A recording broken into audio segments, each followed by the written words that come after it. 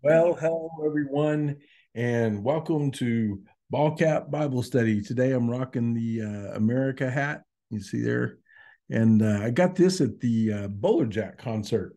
Uh, so, and I paid for it. They didn't give it to me. It was a, it was not a gift. Um, if you know me, you know I don't I don't roll like that. Uh, also, Black Rifle. Now this was a gift. I won't I won't embarrass the person by saying who got it for me, but um, Black Rifle Coffee Company. Uh, they saw my Black Rifle coffee mug that my son got me, the the grenade. So, all right, we are on the Sermon on the Mount now. Uh, before I get started, I hope uh, nobody received a bunch of damage last night from the storms. Uh, bless your hearts. We had it was rocking and rolling last night. We have you know, all of us, we have friends out in Shawnee in that area. So if you know of anybody that had some damage or might need some help, uh, feel free to let me know. We've got guys with chainsaws and we can get out and help some people. Um, uh, so just uh, contact me. You know how to get a hold of me, uh, that kind of thing.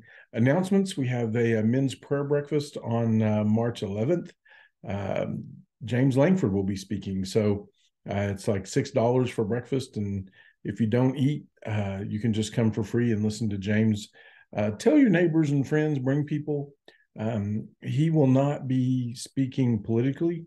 He will just be speaking, um, you know, spiritually and and bringing uh, something from God's word. So anyway, we'll we'll just uh, have a good time with with uh, the senator. and so you know, we kind of even though he's from Texas, we we still you know feel like we we raised him uh, here in Oklahoma. So uh, couldn't be more proud. Um, so that's on the 11th. Then uh, Rachel and I will leave uh, that Sunday afternoon, the 12th, for Kentucky. We'll go see Andy. He's out there in Kentucky, and he's he's uh, doing some uh, marketing and social uh, media for um, an investment firm out there in Louisville. Uh, we plan on going to see the Ark, so hopefully uh, we can do all that, uh, get all that kind of stuff done. Then um, uh, we'll maybe if we if we have enough time, we'll we'll run up. If you've never seen it on on uh, TV, the Air Force Museum up in uh, Dayton, Ohio, is really really cool. It's about three hours away from Louisville, so we'll try that. And then of course after that comes the revival. So you all know about that. Um, by the way, that that week will be spring break, so we will not have our early bird special on Wednesday. Uh, what would that be? The uh, 12th, 13th, 14th, the 15th, Wednesday the 15th. Uh, we won't have um, an early bird special. Uh, and those of you that come know what that is. So, um, anyway, uh, what else? Uh, we are on Sermon on the Mount. I'm going to make this one pretty brief, um, but I want to talk about Matthew in general and Sermon on the Mount. Matthew is that is that tax collector, that publican that, that Jesus called. He's a Jew, uh, but if you've seen The Chosen, they they've uh, uh, gone in a direction I would never have picked for Matthew, but um, it made it interesting and entertaining. Uh, that's a pretty neat little series. If you've never seen it, I highly recommend it. Um, but don't take it as something to worship. Uh, but it is it is interesting. But Matthew, all the Gospels are trying to do something individually.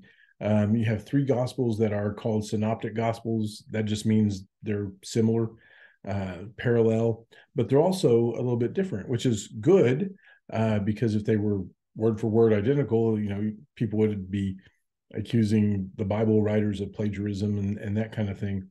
Uh, I've heard it explained you know, if there are people on three different corners of intersection and two cars, you know, one of them T-bones another, uh, they're going to see the same wreck, but they're going to have different perspectives, different worldviews, different ways of approaching their eyewitness testimony. So that's why uh, Matthew, Mark, and Luke are uh, somewhat different while they're still very much the same. John is its own; he's his own breed of cat, and uh, he he he writes a uh, a gospel trying to get us to understand what I say are the three L's that Jesus is Lord, He's light, and He's love. Um, that's a whole nother study. Um, John or uh, Luke is is kind of that investigative journalist. He he has interviewed people and he gets eyewitness accounts and testimonies. And like I like you know, uh, most of you know, Luke and Acts go together. Truly, Luke and Luke 2.0 is what Acts is. He wrote them both. Uh, Mark, very fast, very fast. Mark, he's he's always saying and immediately, and immediately, immediately. 16 um, chapters, not not uh, long, uh, but he, he has a sense of urgency. He can tell it's written by somebody young, passionate, you know, let's go, go, go. Uh, it says all the time. And immediately they crossed back over the Sea of Galilee, and immediately they went into this town. Immediately, heroes and blah blah blah. So you get this real big sense of urgency. Now Matthew, where we're studying the Sermon on the Mount, we're in chapter five. Uh, Matthew worked for the Romans. Think about that. So who had the authority in all the land? Rome. Well, whereas in John, you see all these I am statements. Uh, I am the bread of life. I am the good shepherd. I am the way, the truth, life. I am, you know, pushes you back to Moses and the burning bush. Uh, so Jesus is really declaring himself uh, to be God. He and the Father one and the same. Um, Matthew is trying to get people. They understood Roman authority. He was trying to get them to understand uh, the authority of Christ, the authority, you know, Jesus's authority. Um, several times, well, at the end of the Sermon on the Mount, the people left amazed because he spoke like one who had authority. Uh, after he d- talks about whose image is on this coin, the people walk away amazed because he spoke like one who had authority. At the end of the um, the book of Matthew, we have what's we commonly call the Great Commission. I often ask a trick question. Many of you have heard this before from me. Uh, I often ask a trick question: How does the Great Commission go? Can somebody, you know, who has that memorized? Somebody will raise their hand and they'll say, "Go ye therefore and all." No, that I, I stop them. Stop. That's not how it goes. It starts off. Jesus says he walks up and he says, "All authority has been given me uh, on earth and in heaven." It's kind of like he has the scepter in his hand and he walks up and he says there's a new sheriff in town, boys. So uh, Matthew is trying to demonstrate authority. And here in the Sermon on the Mount, um, you know, these are Jesus' own words. He is laying down authority. We're into the section, uh, the the you've heard, but I say section. So Jesus is saying, you know, I don't really care what you've heard. Here's here's, you know, what time it is. Um, he he tells them how the cow eats the cabbage.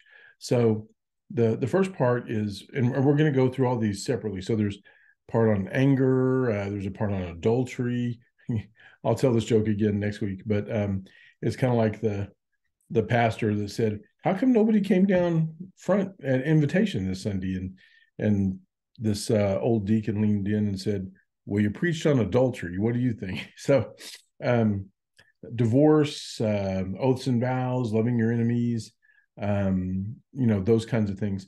So today we're just to, we're not to tackle anger and, and reconciliation, but we're to uh, look at what Jesus said and then just very briefly touch on it because um, I'm trying to make these shorter so you guys aren't so bored. Uh, so here's here's what Jesus says: Sermon on the Mount. This is verse 21 of chapter five. So you can go back and, and look at it if you want to. It says, You have heard that it was said to the ancients, Do not murder, and anyone who murders will be subject to judgment. But I say, I tell you, that anyone who is angry with his brother will be subject to judgment. Again, uh, anyone who says to his brother, Raca, will be subject to the Sanhedrin. But anyone who says, You fool, will be subject to the fire of hell. Wow, that's pretty harsh just for calling somebody a fool. We'll talk on that here in just a second. So if you are offering your gift at the altar and there you remember that your brother has something against you, leave your gift there before the altar. First, go and be reconciled to your brother, then come and offer your gift.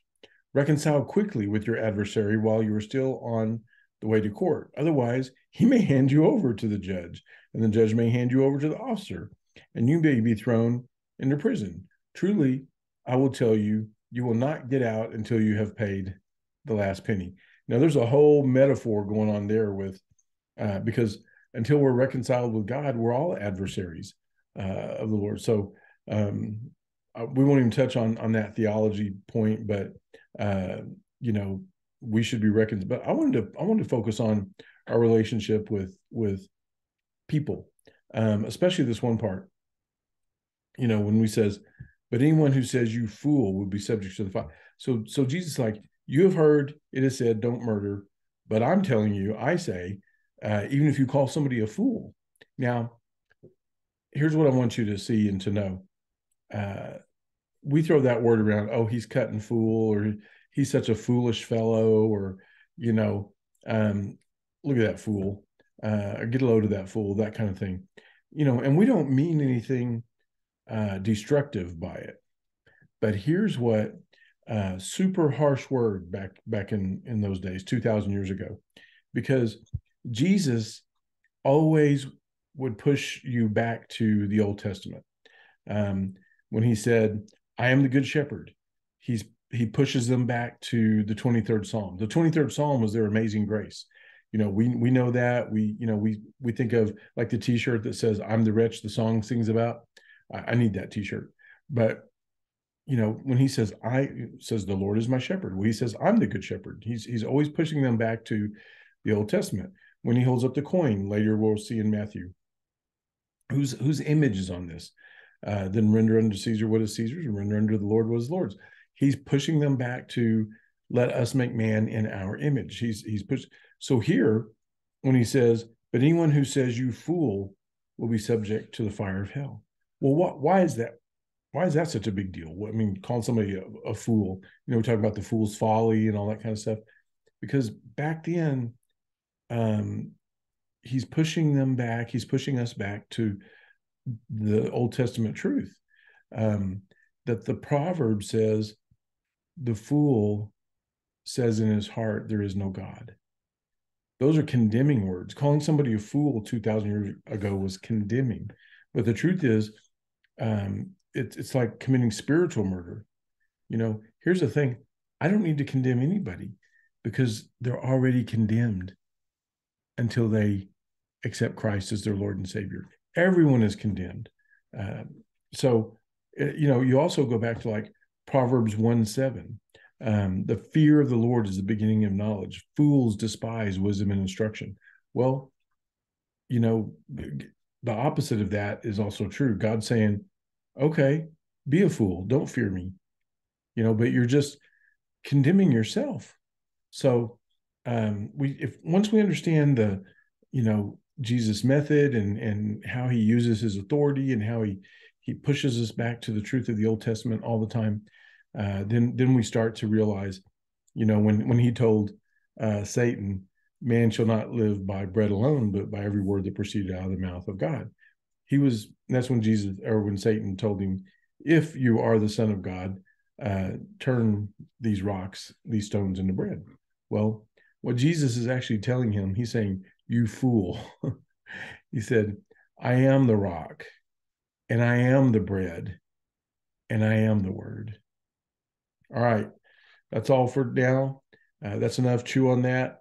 Leave me a comment if you like it uh, or give me a question if you don't. Let's let's work through it. Uh, love you guys, and I will see you soon.